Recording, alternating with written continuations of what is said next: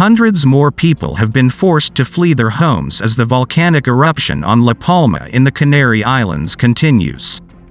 The PEVOLCA Emergency Committee ordered the evacuation of several more villages overnight, affecting some 500 people according to local media reports from Thursday.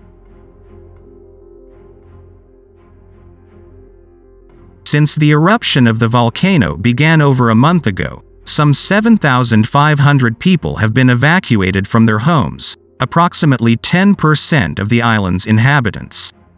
Many of them will never be able to return however, as their homes have been buried in the lave flow.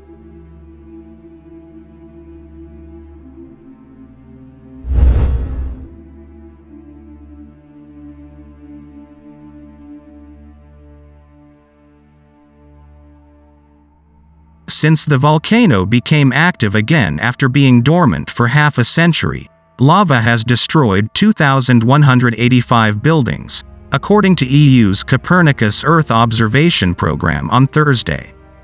Copernicus reported that 866 hectares of the island are now covered by a meter-thick layer of lava, an increase of 54 hectares, the size of 1,200 football fields, within the past 48 hours.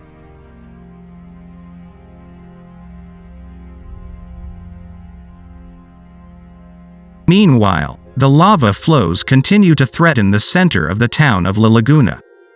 The hot mass, which reaches temperatures of up to 1,270 degrees Celsius, has already come very close to the center of La Laguna on its journey to the sea. The 1,650 inhabitants of La Laguna are not in any danger, however, as they have already been evacuated from their homes. Teeth lava could destroy hundreds more homes, PEVOLCA leader Miguel Angel Morcuende explained on Wednesday.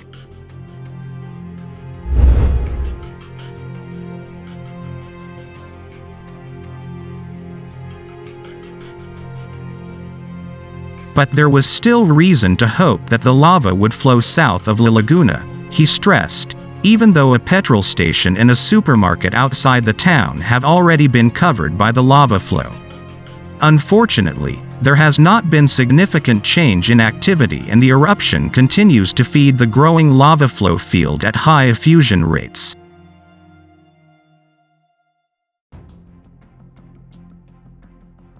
In particular, the northern margins of it continue to be active and slowly advance in the area of La Laguna, the southern part of which already is buried under the lava flows. River of lava flows from La Palma volcano over a month after it began erupting.